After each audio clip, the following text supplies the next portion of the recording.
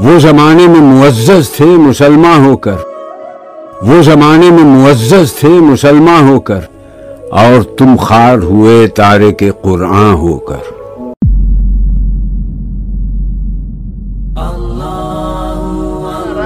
मुसलमान की पहचान क्या है? दरकार हो तब भी अल्लाह से मांगो। कहता मैं मुस्लिम हूँ मैं उम्मती हूँ। हमारे नबी इस्लाम ना सुन्नी थे ना शिया थे। तो मुस्लिम थे।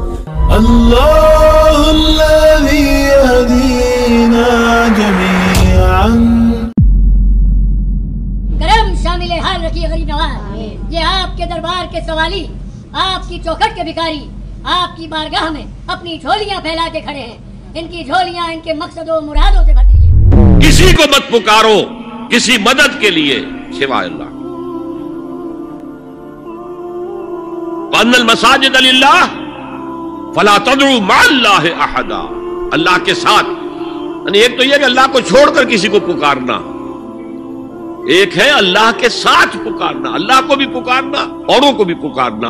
बदतरीन शिरक है, दुआ अल्लाह के लिए, निदा अल्लाह के लिए। इसका भी जरा मैं तजिया कर दूँगा देखिए, एक है आम मादी कवानीन दुनिया के जो है, उसके तहत किसी से मदद चाहना। भाई, जरा मुझे पानी पिला देना, ये भी आपने मदद चाहिए, है ना? हुजूर के बारे में तो आया है कि आप इतने खुददार थे, सल्लल्लाहु अलैहि वसल्लम, कि अगर सवारी पर होते थे और आपका कोड़ा नीचे गिर जाता था तो किसी से ये नहीं कहते थे कि ये कोड़ा मुझे उठा के दे दो। बल्कि खुद सवारी से उतरकर कोड़ा उठाते थे।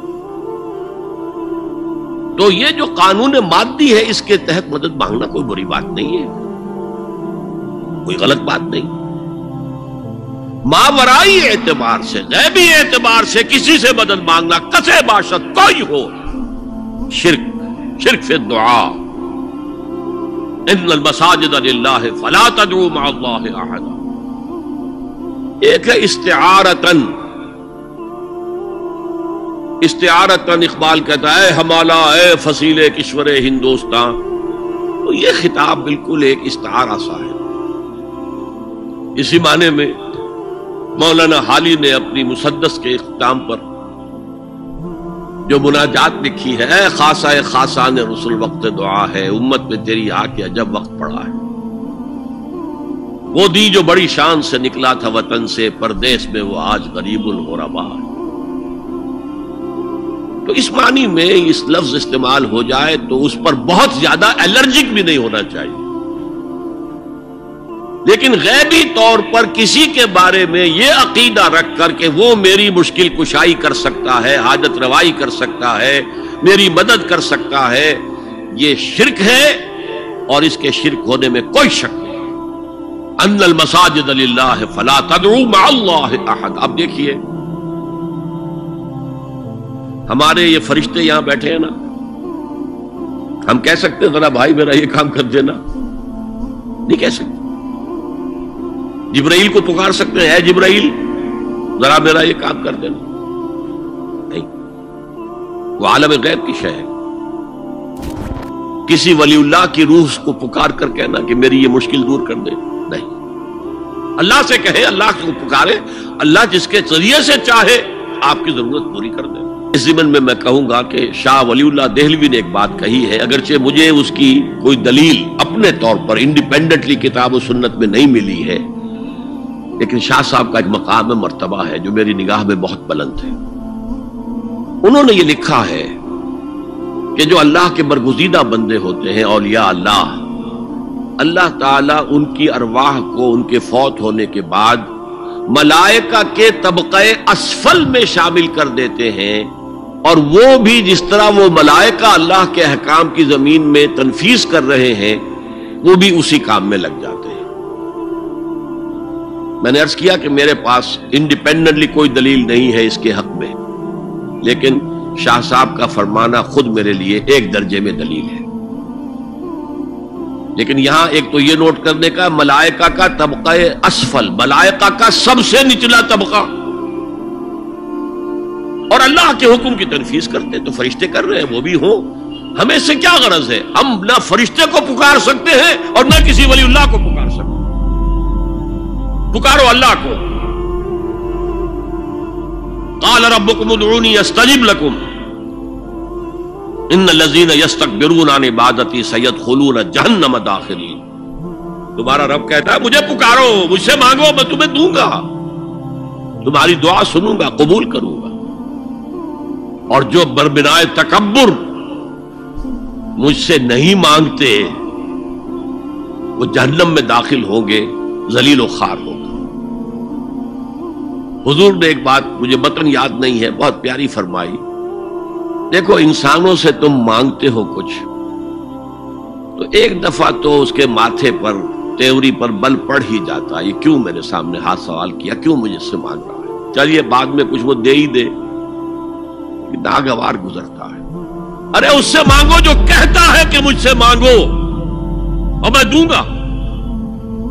वो ना मांगने पे नाराज़ है। उससे नहीं मांगते।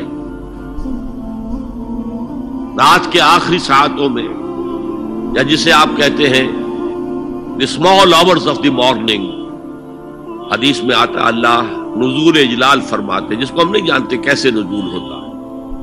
ज़ात बारी ताला और उसके मुतक़ात के बारे में, जो बात आ गई कुरान में, हदीस में, वो हम मानते हैं। कैसा, ये हम नहीं जानते। उसका हाथ है, कैसा है, हम नहीं जानते। उसका चेहरा है, कैसा है, हम नहीं जानते। उसकी साख है, उसकी पिंडली है, कैसी हम नहीं जानते। वो सुनता है, कैसे सुनता है हम नहीं जानते क्या उसके कान है? क्या उसे भी साउंड वेव्स की ज़रूरत है सुनने के लिए? वो देखता है, कैसे देखता हम नहीं जानते। वो उतरता है, कैसे उतरता हम नहीं जानते। जो कुरान में आ गया हदीस में आ गया मान लीजिए, बस। बाकी ये मुतशाबहात में से है। इसकी खोज कुरेद में पड़ोगे तो फितने में मुबतला हो जाओगे। इब्तगाल फितनत वब्तगा तावील।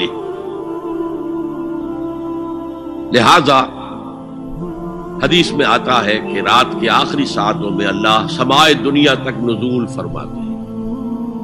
और फिर निदा लगती है, हल बिन साइलिन फौतिया है कोई सवाल करने वाला, मांगने वाला कि मैं उसे दूँ? हल बिन मुस्तकफिर फौफिर लहू।